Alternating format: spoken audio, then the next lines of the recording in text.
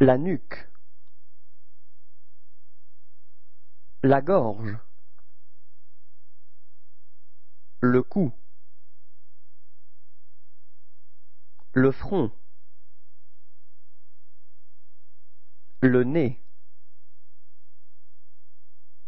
Le menton. L'œil. La lèvre supérieure. La lèvre inférieure. La mâchoire. L'oreille.